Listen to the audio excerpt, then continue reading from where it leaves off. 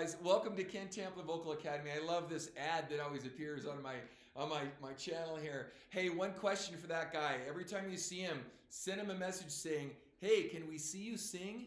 And uh, send him another message to say, and then can we also see your students sing?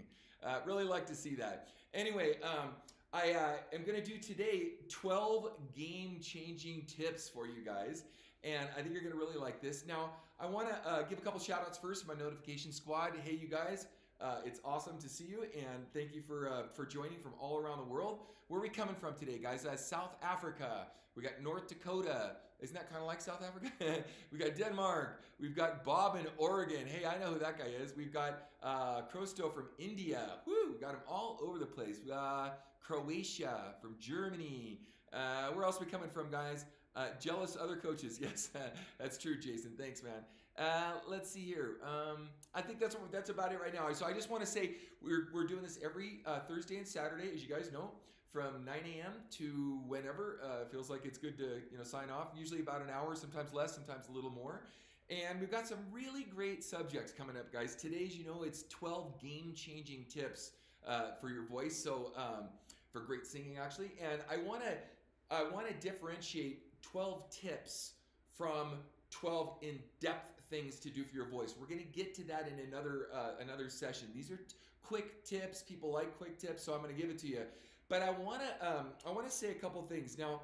The very first thing, and I'm just going to dive right in. So I hope you guys that are joining, you know, you're already on and we're good to go. But the very first thing is tip number one. Okay, really important. Make sure you know that you get your tips from someone you can trust. So the first tip is know where you're getting your tips. And here's what I mean just because someone raises their hand and claims to be a vocal coach or does some scale on, on whatever, or sings some note, the very first thing is tip number one know where you get your tips from and make certain that that vocal coach can sing and sing well, sing and sing well, and has demonstrations up the wazoo on their channel so you can really determine that what they're trying to tell you is legit. It's a really important thing, guys. If there's a if there's a, of all these tips I'm giving you, I should have probably saved that one for last, but it sort of is the filter by which we see all the other tips and what what gives credibility to the tips. So, again, let's do this again. The tip number 1 is get your tips from someone that sings and sings well proves it on their channel and have students that sing and sing well to prove what they're telling you is legit. It's the only way you can um, ferret out this information and authenticate it, okay? So please make that your very first tip. No matter what ad comes on the screen, no matter what vocal coach bashes another vocal coach claiming, well, we do nay, nay, nay, nay, nay, nay, nay, therefore it's bright, therefore, where they leave out half the information or don't even know about the rest of the story, and so they're trying to, you know, tear down other people and show them how awesome they are, it's a simple question. Just ask them, awesome, can you sing something for me to demonstrate that? I want to hear you sing, and I want to hear your students singing. You want me to buy into your advice, so just show me. Again, it's the only discipline that I know of are vocal coaches that just go wah, wah, wah, wah, wah, wah, wah, and mouth how to sing rather than teaching you how to sing. You wouldn't go to a guitar player that didn't know how to play guitar and just told you how to do it and expected you to learn from some things they wrote out or just telling you something from a book. You wouldn't go to a baseball coach. You wouldn't go to learn how to be a doctor. You wouldn't go to learn in any other discipline. You would not learn something from someone else that didn't already have and prove that they could do it to show you. Now, I want to bring up a quick point on this and why this is important. There's a really well known vocal coach, and I'm, I'm saying this because it's a way to help you guys discern information, okay? And the vocal coach said, Well, Ken, that's just not true in professional uh, uh, athletics, so in, in uh, pro sports, the coaches don't necessarily play themselves or have played themselves, and yet they coach the greatest teams in the world. I'm so glad you asked and brought up that question. That is not true, and let me tell you why. Those coaches take talent that is already at the highest level and they manage talent strategically. They don't teach anybody how to throw a ball, kick a ball, swim, surf, you know, whatever, mountain climb. They don't teach any of that. They take people that have already had the trainers, the vocal coaches, the trainers that have done this themselves to get them to perform at the highest level. Then they cherry pick that talent. Oh, he's a good forward. Oh, he's a good center midfielder. Oh, he's a good goalie and they manage talent and watch that talent and strategically place it on a field and make suggestions to players. So don't be deceived by that kind of uh, smoke and mirrors because these guys will say anything in order to keep your attention. It's just a simple, and I know I'm I know I'm I'm ranting on this, but the proof is in the singing. Ask them if they sing. Please demonstrate it in multiple styles See if you like their voice. If you do, awesome. They might be your person. And do they display other students singing and singing well, and preferably and hopefully in a style that you want to learn? Very important. All right, let's continue on. So that was tip number one.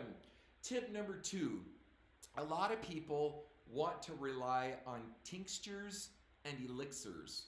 What is a tincture and elixir? You know, uh, something, a, a throat coat you know, something that soothes the throat, or lozenges, or, you know, a drink of sorts, or whatever, honey and, and lemon and tea and all these different things.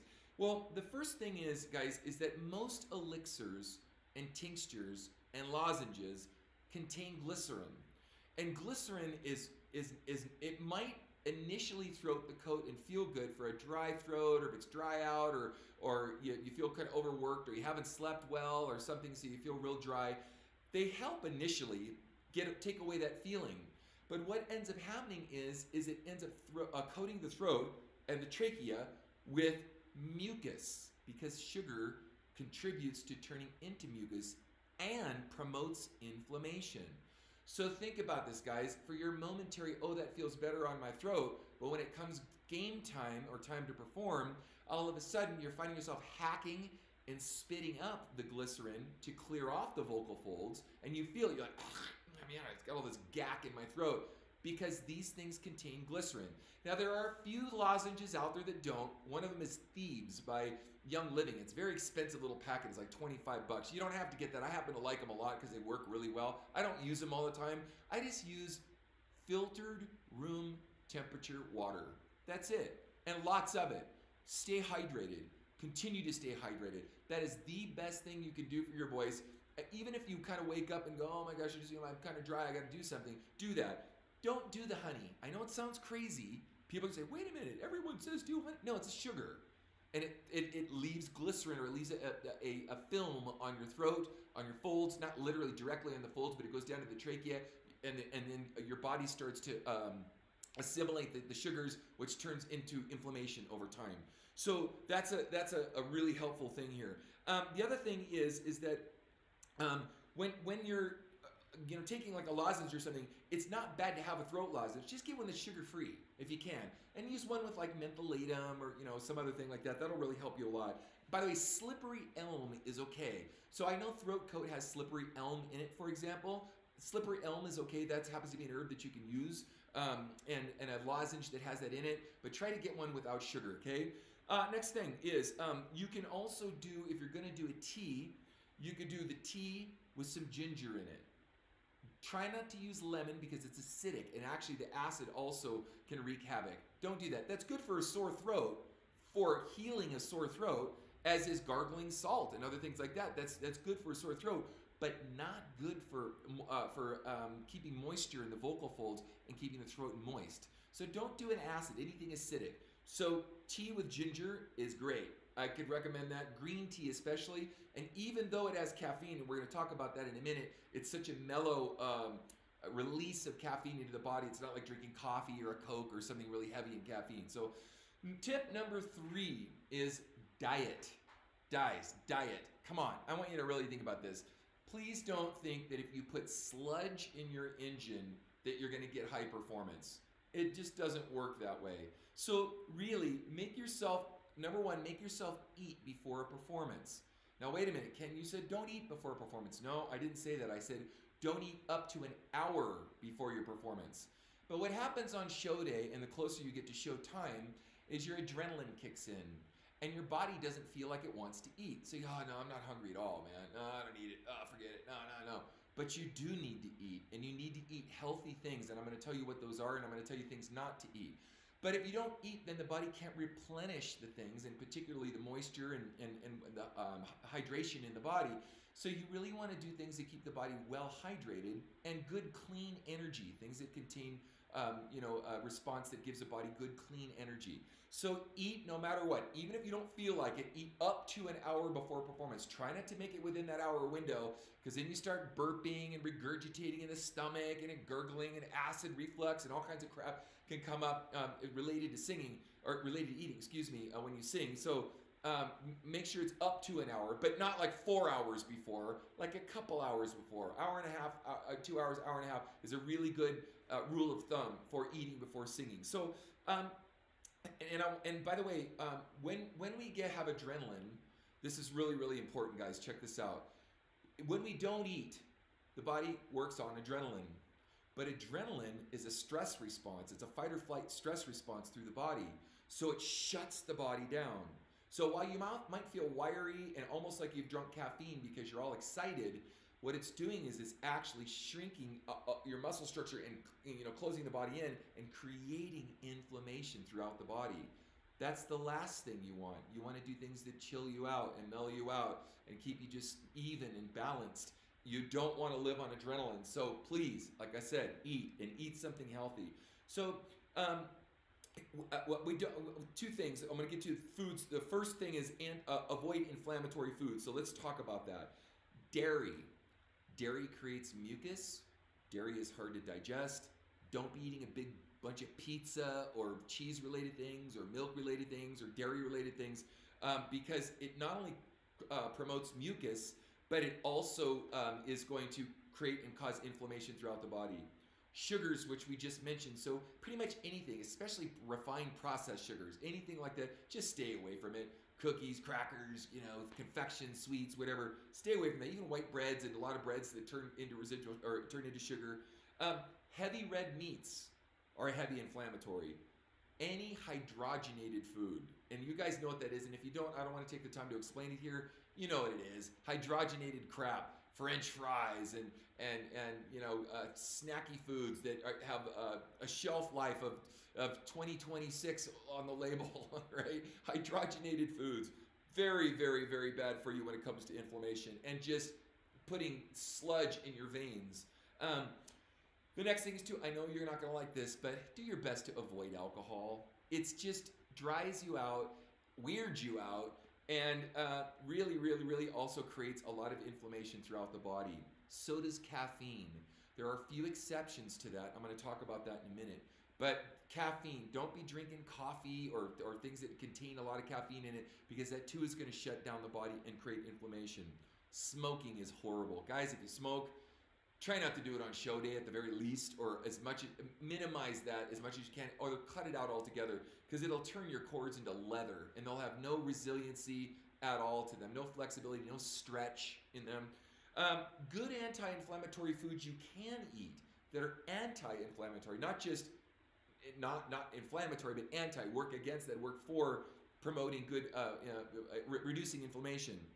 Uh, berries almost any kind of berry, right? Get an acai. Uh, you, know, you guys have little acai sticks. I don't know if you've seen them, like a bowl acai. That's really good to, good to have. And it also contains guarana, so it has a kind of an energy booster, natural energy booster in it that's pure, and it's okay to eat. It's okay to have.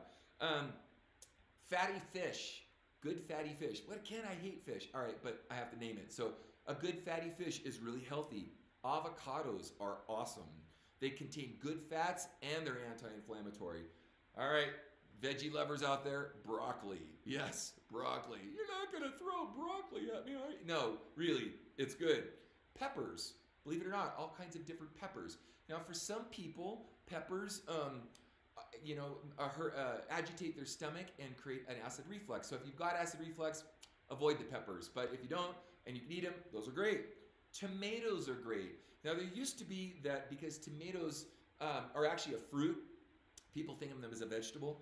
Um, it's it's interesting because while they are acidic and they contain good natural sugars, it's a really good anti-inflammatory and it's good for energy and for balancing out the pH in the stomach. So it's not about you know uh, just avoid anything that's high acidic. It's about a good balance. We need acid in the stomach to digest food. So taking a, a, you know anti-acid uh, pill like you know Tums or something is really awful for you. It's one of the worst things that over-the-counter medicine has done for our digestive tract. And so tomatoes are great. Mushrooms are great. And I don't mean magic mushrooms. I mean regular mushrooms. Um, those are really good for you. You know, so mushrooms are great.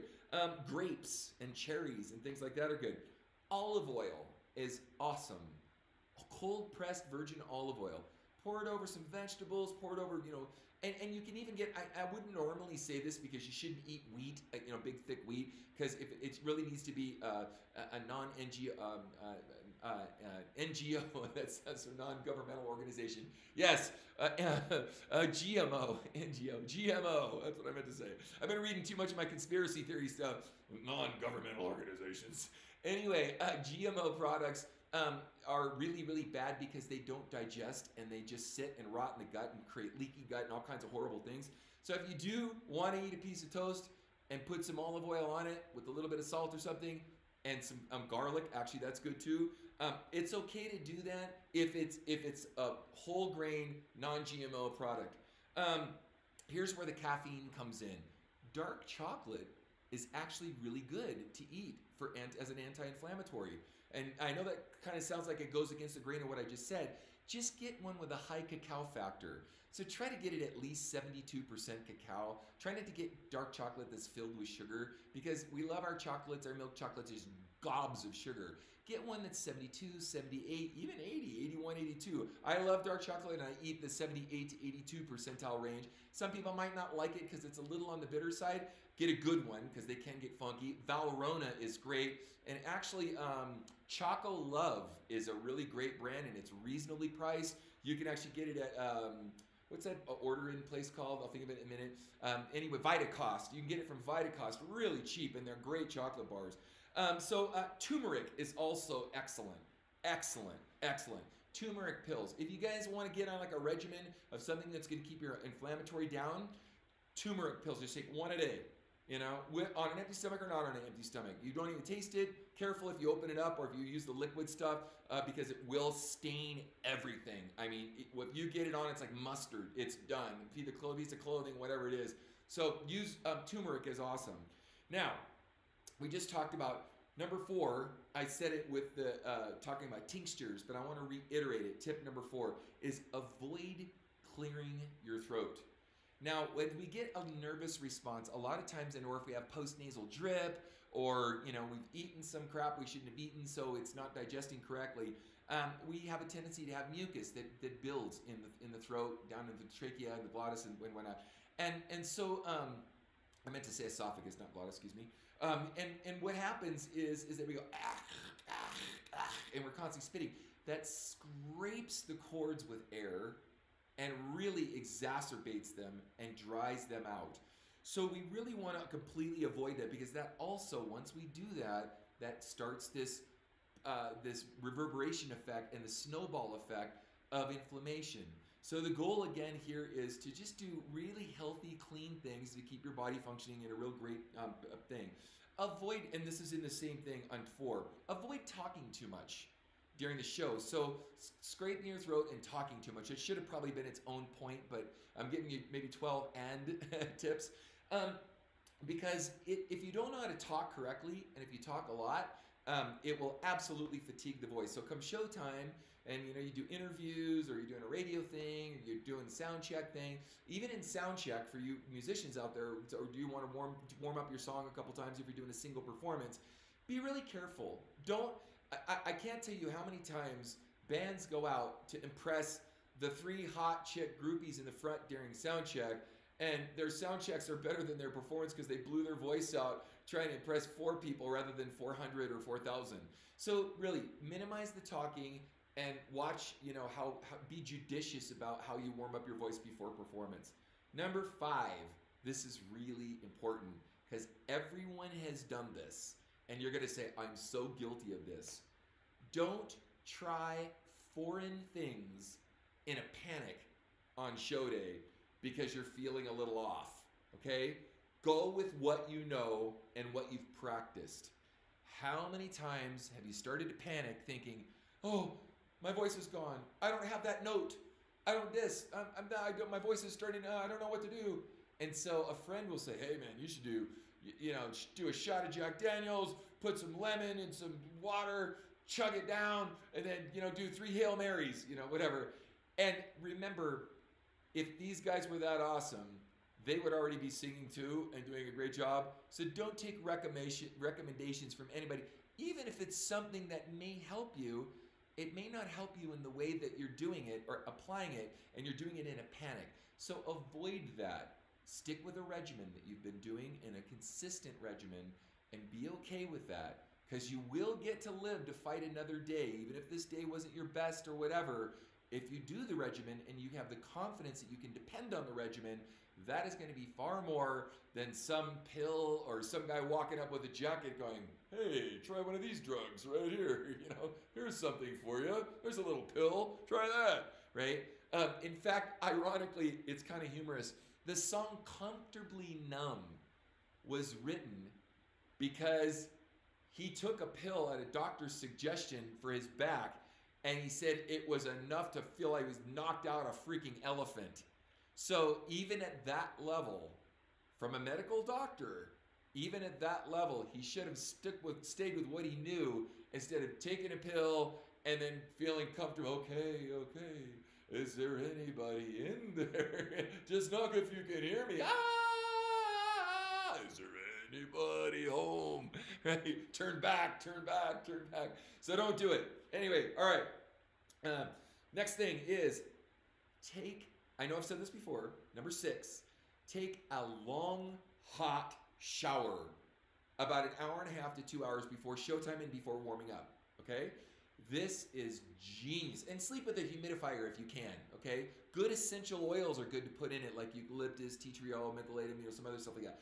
But take a nice, long, steamy, hot shower and you're going to be blown away how it opens up the sinus cavities, how it puts resiliency and moisture and flexibility in the vocal folds, how it reduces inflammation, how it just makes your body. That's why the old saying, you know, wow, I sound so much better in the shower. You might. You might, yeah, because it loosens up the folds and you have a relaxation response for the body.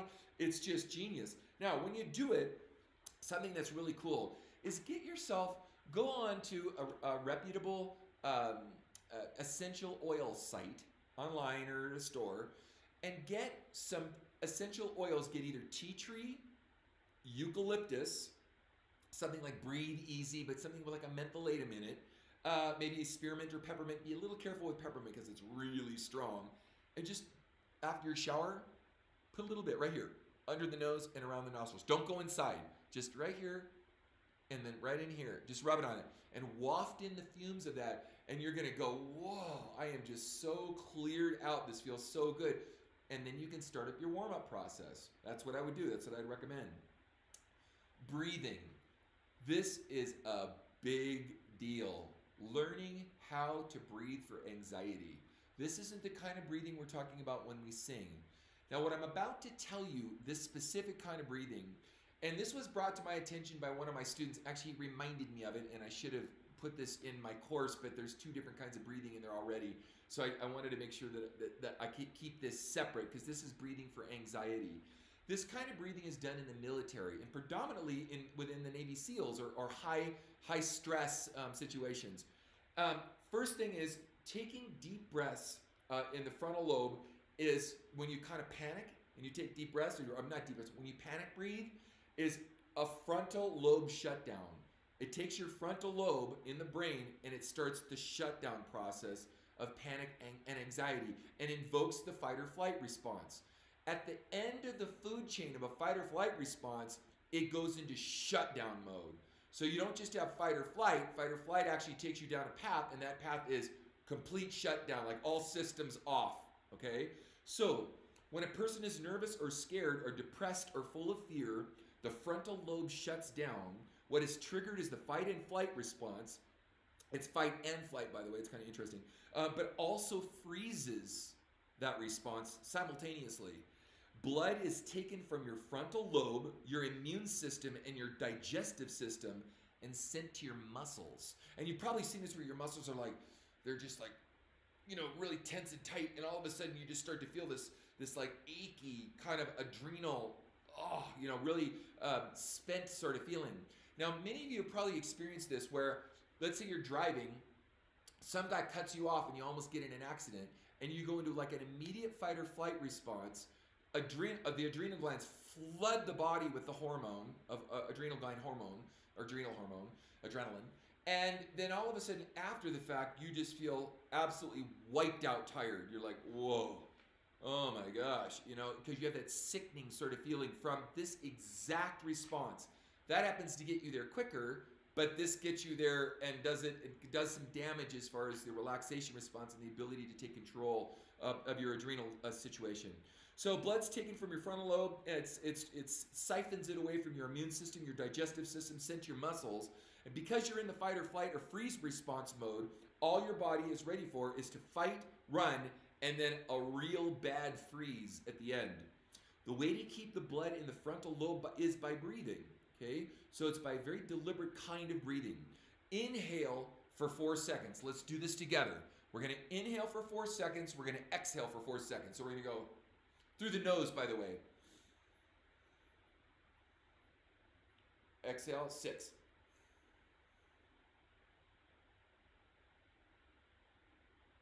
Inhale, four.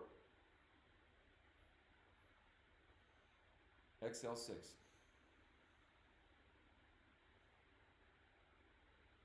Okay, now if you notice, the inhalation is a little quicker than the exhalation by two seconds. So you have to compensate for taking in a nice deep breath, and you're going to do this consistently, cons- with consistency and consistently, and you're going to notice that the body starts to go into a relaxation response. It starts to calm down. You start to chill. Even if you're all panicked, let's say you have panic attacks, right? This is also excellent for that. Now, you have to give yourself some respite, a break in between. So you could do this about six, seven, eight times and then stop. Wait about a minute, 60 seconds. Then go back and do it again. And then wait about another minute or two minutes. Don't hyperventilate. Do this slowly. Be careful. Do it, you know, follow the, the, the time signature of it. Four seconds in, six seconds out. And you're going to notice you're going to start to chill out. And you go, wow, this is crazy. This works really good. Well, tell you what, if it works for the military in a really high tense situation, it'll work for you.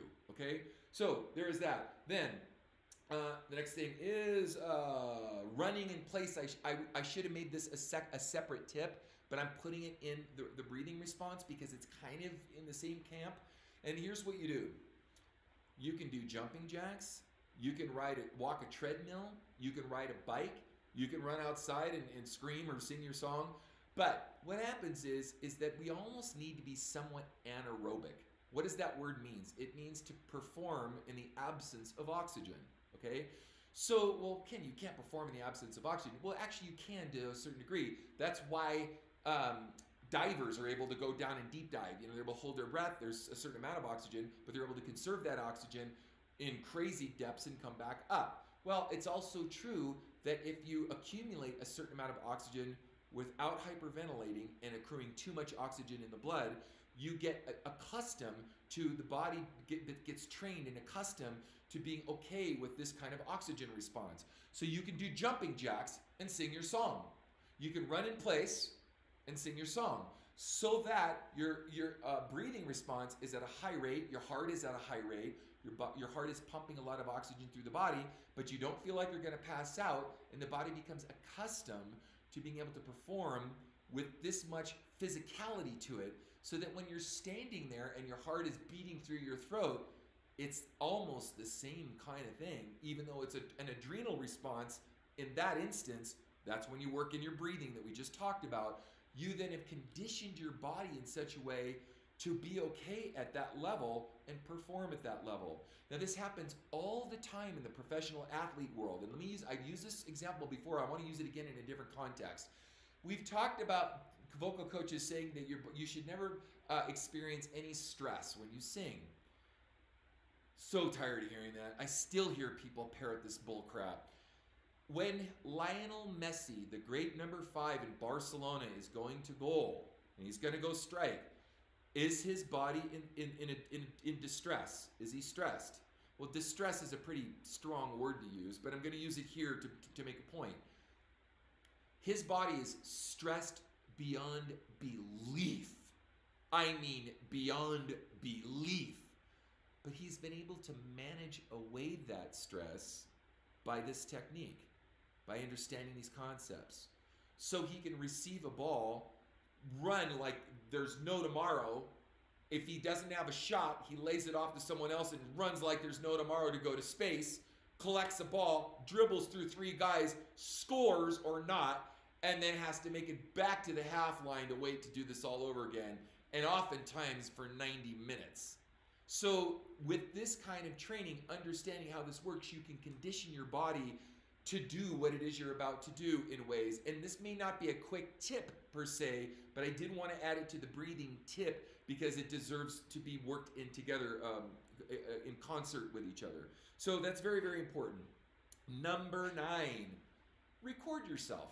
I know I've said this before, but it's it's worthy. Get your phone out, record yourself, and listen to yourself. And people say, "Is that really how I sound? Ooh, do I really sound like that?" Unfortunately, yes, you do. But the good news is, is that you also have a first immediate response where you can listen to something and work on correcting it. Right now, I know these aren't high technical singing tips. We're going to get that in another session. These are quick tips. That's what this is about. So I'm just trying to give you quick tip things to do. So record yourself and listen back and then see well what do i like about this what do i not like about this how can i change this right I, obviously i have a singing course it's called how to sing better than anyone else and i cover how to get you to all these places in the course so it'll require some training it goes beyond the 12 tips that we're talking about right here and now the next subject starting at number 10 is the psychology of singing and there is a lot to this the first thing is i'm going to just use steal blatantly unapologetically steal a Nike slogan.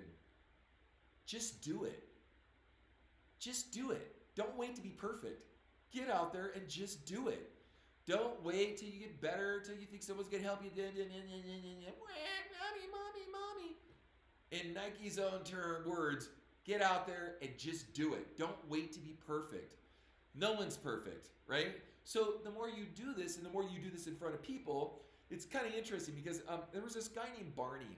When I was a kid, as you guys may have seen, you know, how did I become Ken Tamplin? I didn't have a dad. My dad was a total loser. Uh, didn't treat our, my family that well, as many of you have experienced, I'm sure. Um, but there was this old guy named Barney. He was, he was really sweet. And once in a great mood, he'd take me over and he knew that we didn't have a lot of money, so he'd buy me a meal and we'd go to Carl's Jr. and he'd buy me a, a hamburger or something. You know, it was really sweet. And he said two things to me that always stuck in my life. The first thing he said to me is whenever you come up to some stairs, always run up them like they're nothing. And if you do that all your life, you'll see that they'll always be nothing. But if you look at the stairs like, oh, gotta go up the stairs, and you walk up them arduously, they will become harder and harder the older you get. To this very day, when I look at a pair of some stairs, it's a 56 year old man, I just go, and I get up the stairs, man. I'm up them, and they're easy, and I stay in shape, and I feel good, right?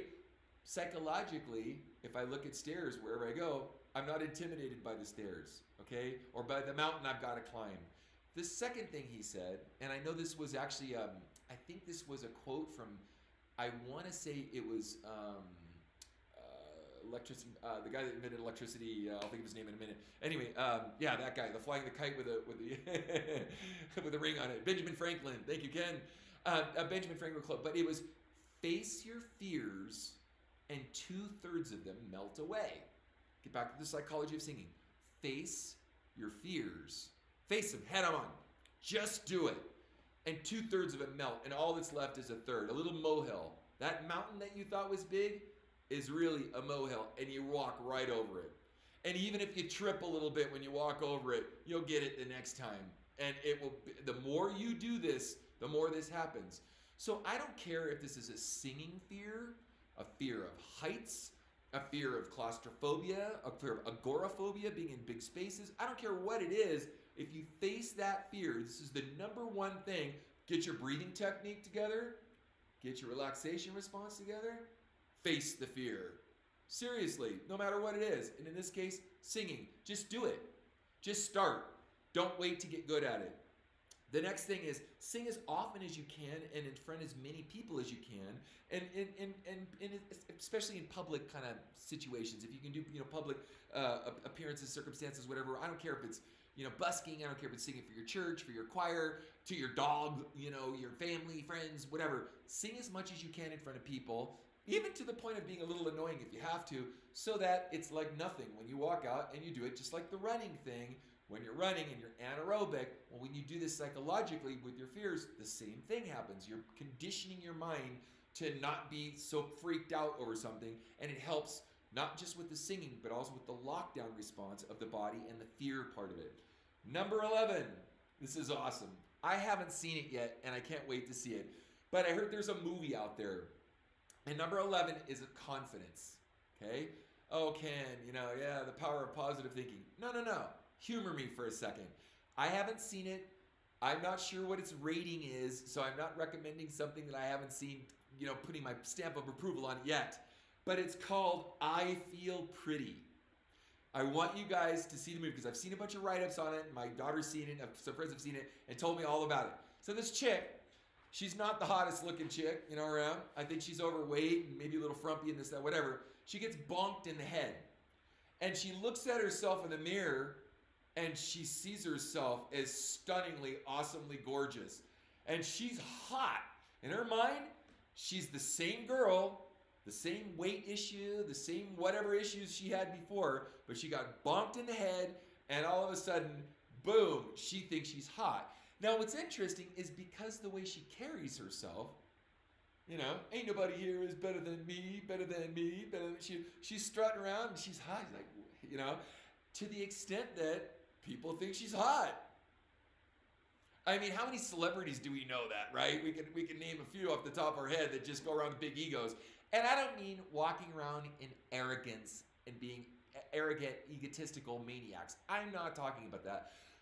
Excuse me. I'm talking about confidence going, I got this, man. This is good. I got So anyway, in this movie, she's loved by everybody and everybody's, you know, like totally wowed over this chick who's if, if, if she had stayed the first course before she got bogged in the head, what, well, oy vey, I'm not that great. I'm not that pretty. What do you want? I'll go sit over here in the dark, you know. No, she flaunted it, flaunted it, flaunted it. And everyone loved her for it. At the end of the movie, she gets bonked back in the head, and her mentality is like thinking that it's she's changed, like something's changed about her, and she realizes, no, it's the same body, it's the same person, it's the personality, it's the confidence that she walked, stepped into that gave her all the pluses that she got with the confidence factor. And then she retooled that in her mind, even though she went back to her old mentality. She went, and she brought the typewriter back, the head on. You guys that are old enough to know what a typewriter, bring it back. Um, she brought it back to where she became that person and learned to live in that confidence. Okay? Very, very important. A law of attraction. Now, I should have made this its own uh, tip also, but I want to bring this up as well in this context. She had fun with it. She had fun with her confidence. Okay? Have fun with your what, what you do, what you love. Don't be so stressed out and freaked out. Do it because you love it. You just love it.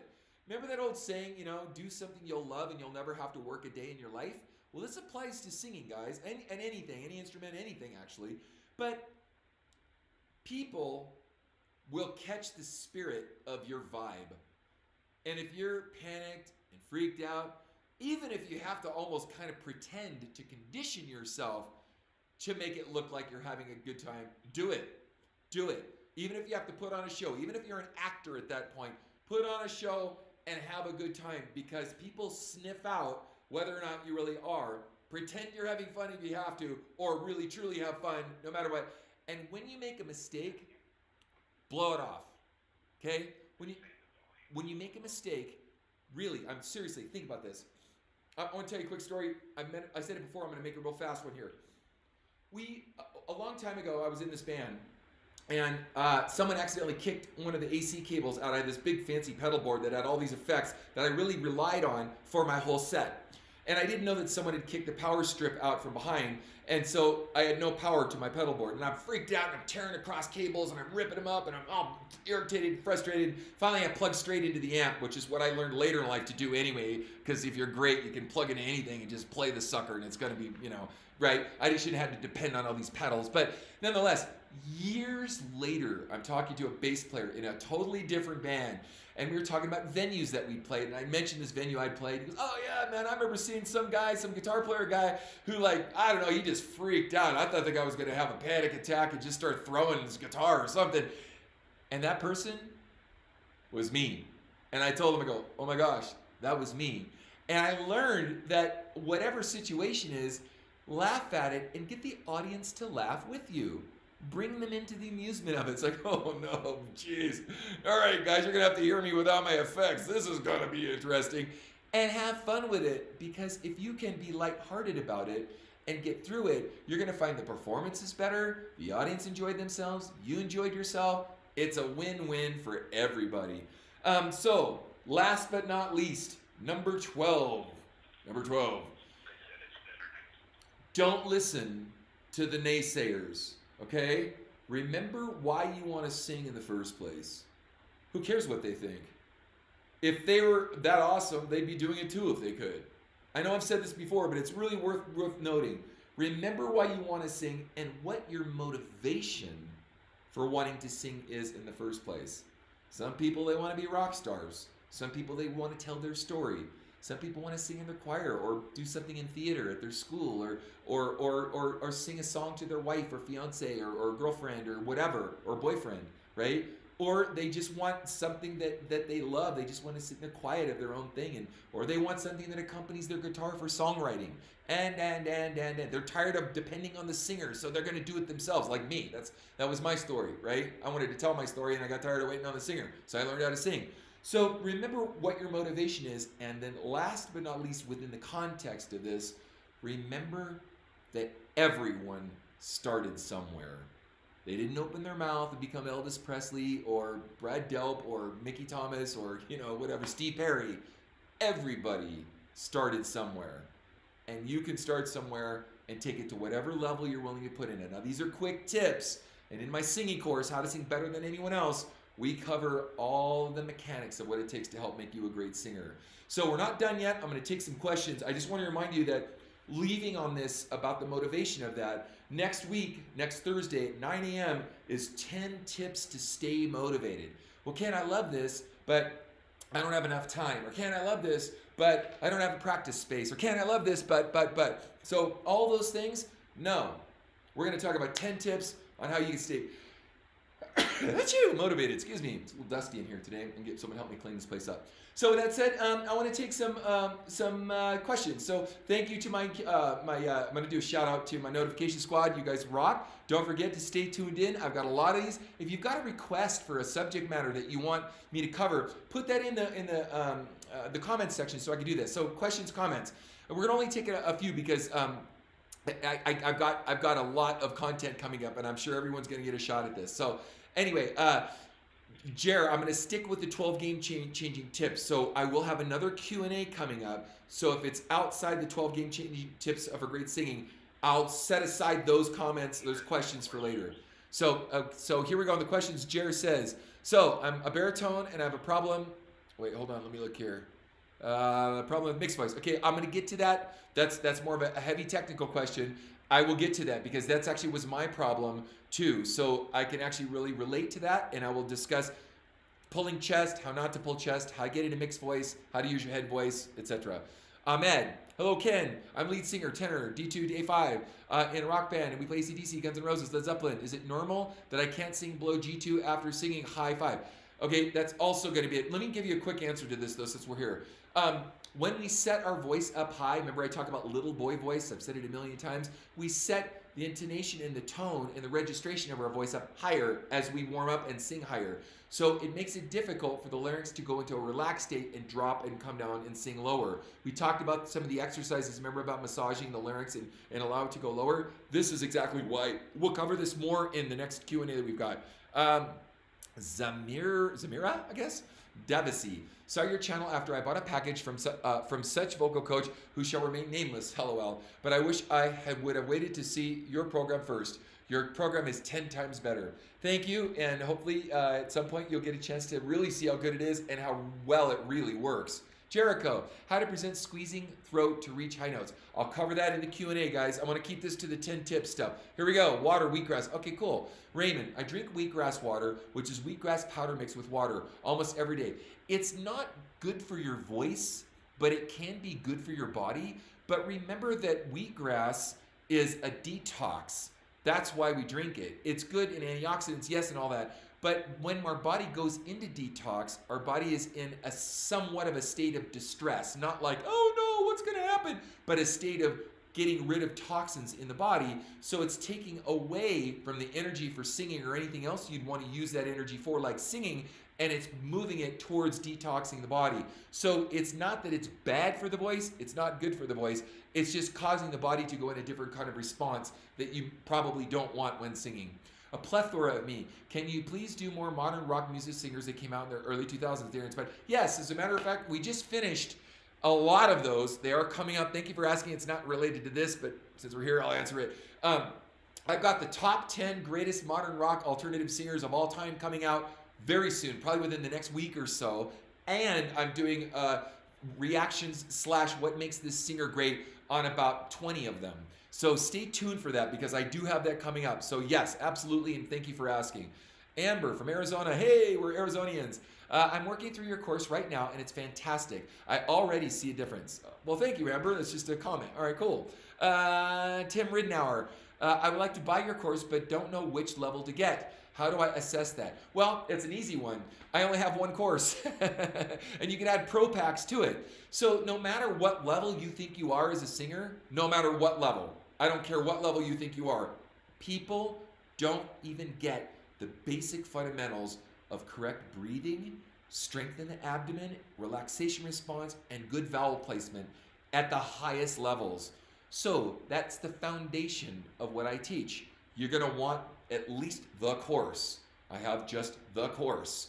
If you want to add the Pro Packs, and it's like a total like 70 hours of incredible detailed uh, teaching with a lot of different students so you can see how the mechanics works for both male and female, um, that's included for very little more money. So it's obviously a much better buy to get the pro course because you get the course with the pro packs in it. And if you want the gold bundle, it's the pro course and three personal lessons with me. So if you want to be handheld and say, I want to make sure I'm doing this right, check in with Ken Tamplin. I, I tell you whether you're not. I record it on Skype. I send you a video, and you're able to refer to that to make sure you're doing the course correctly at the gold bundle level. So it's all the same course. You can add pro packs to it, or you can get the pro packs and uh, three hour sessions with me, three one hour sessions. Boston Metal, are cough drops good for singing. Like I said, if they're sugar free and um, they are, um, by the way, just because they're sugar free they put a lot of bad stuff in place of sugar. So I, that's another tier of talking about diet. But yeah, they're okay to take. Uh, don't rely on them a ton. Um, mentholated ones are great, and try to do them without sugar in it. Uh, Eleni, you, oops, a little too fast for me. Uh, you do say that your singing is using your muscles. Does it also mean that taking care of your other muscles, exercising for general health, uh, also helps you with singing. Absolutely. It absolutely does. Now, I was just on with uh, my associate Bob before we came on here, and I was talking about, speaking of Navy SEALs, I was talking about a, Navy SEAL that I teach. Uh, just first time I taught, you know, had a lesson with him. And here's a guy that couldn't be more physically fit. So that's awesome. And yes, that helps tremendously with just energy, blood flow, relaxation, you know, just all the mechanics of just how the body works. However, he does a thousand sit-ups every other day. That's part of his, his regimen for his workout routine. And he does a lot of other stuff. Pull tons of pull-ups and you know running and you know biking and all kinds of and swimming.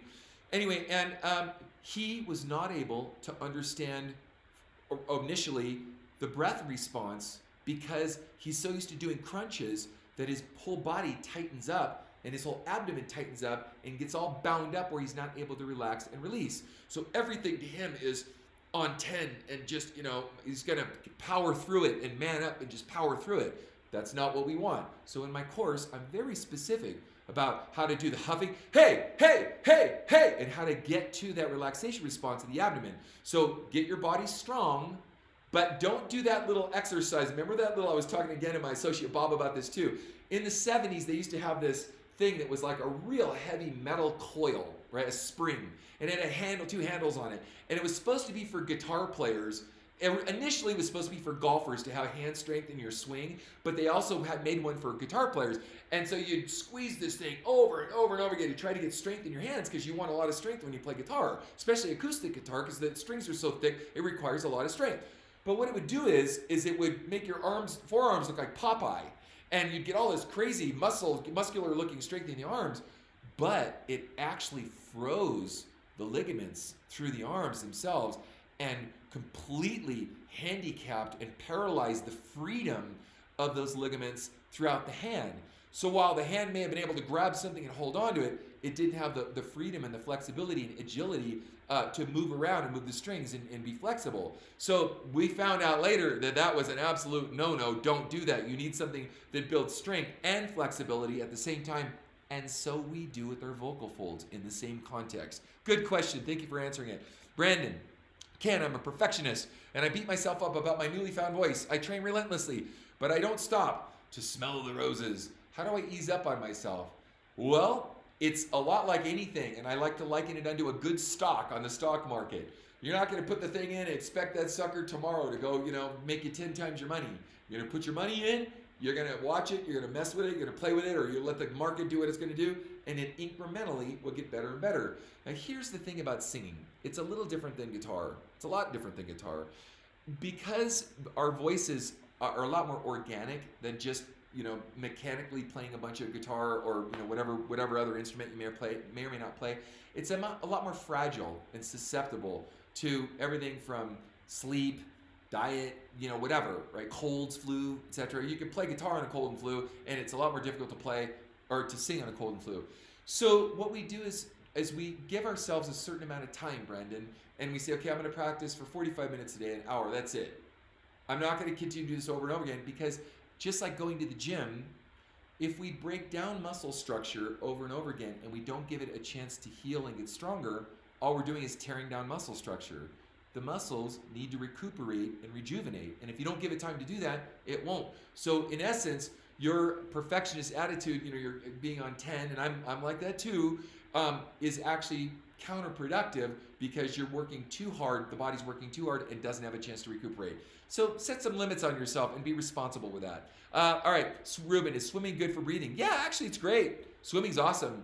It's, it's really cool because you really do breathe from here. Uh, one interesting thing about swimming is is a lot of people when they're standing or they're running they feel this chest expansion like this when you're swimming you actually feel the total sum of your torso. So the lungs actually by the way your lungs are really deep. They go really really deep. They don't end here like people think. The lung ca- cavity i mean it's a big sucker. And so when you're swimming you're kind of in a, in a mode where you're actually using the total capacity of your lung throughout your entire torso. Now it's not exactly like breathing when you sing but it's actually a different response than when you run or when you're doing exercise above land. So yes it's good. Jeffrey woodson um, what do you do uh, and what not to do when you have vocal damage i'll tell you what um, that's a really great question i have spoiler alert a new CD, not CD, excuse me, a new program coming out called Voice Repair Heal from Home.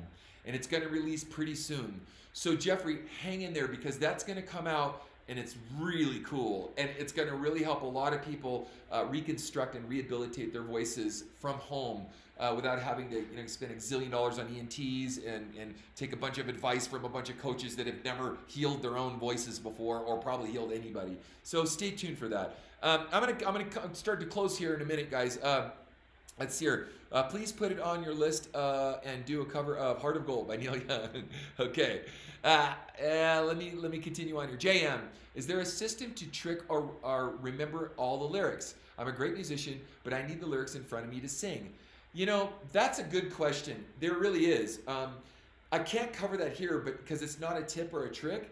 but there are memory protocols that I've used in my in my past, and a lot of it has to do about thinking about the storyline of whatever it is. So um, there are memory courses that cover this. So I recommend getting a good memory course because that will really help you with lyrics. It helped me a lot, and we're gonna. I'll try to do one on on memorization because that would be, I think, a, a pretty cool uh, thing to do. But yeah, get a good memory course on how to remember people's names, how to remember numbers, how to remember cities and states, geography, and whatnot. And you're going to see that when you're able to do that with different things, not just singing, you'll be able to translate that into uh, remembering lyrics. And by the way, even Mick Jagger to this day still kind of uses teleprompters here and there. So there's a lot of people, you know, Rob Halford from Judas Priest using it. And I know as they get older, they forget stuff, or maybe they don't care, or just whatever, they're distracted. But, you know, people, lots of people still have that issue. Charlotte, uh, can't belt. My family thinks I'm nuts. Uh, now only in the car. Uh, well, belt in the car. I don't know. There's not really a question attached to that. So, uh, my family thought I was nuts too, and people when I was driving thought I was nuts on the way to rehearsal as I'm singing my brains out. But the last laugh is on them. I'm laughing all the way to the bank. I get to do what I love, and who knows what job they're doing, still driving down the 405 freeway in dead stop traffic. All right, Ken, you have the best shirt collection in the entire universe. Hey, you know what I'm gonna do? I'm really serious. again. I'm thinking about doing this.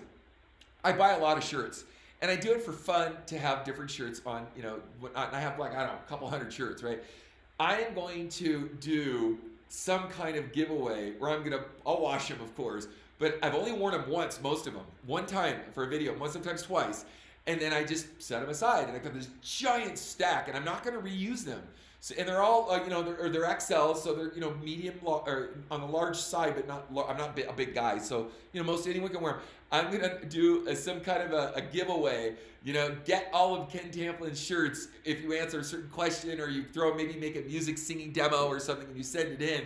And then I'll post the winner of the singing demo, and then they'll I'll ship them all my shirts. And they're probably gonna have to be U.S uh, uh, Western Europe only because it'd be really tough to ship like that to Asia or, or some other far, real far away place. That you know South America because it's hard to get anything anywhere there. Uh, anyway, all right, ending. I want to do a shout out again to my notification squad. You guys seriously rock. Uh, you know, keep the good work. If you guys want to keep more videos coming your way, like and subscribe to my channel. Ring that bell so you'll get notifications. And don't forget, next Thursday is 10 tips to keep you motivated. So Thursday at 9 a.m. Los Angeles time or Pacific Standard Time. And uh, again, on Saturday, we've got another one. So we're going to be keeping these things rolling. And if you've got a really good suggestion, I am open. Throw it my way, and I'll do my best to get to it. So God bless you, gang. And until next time, peace out.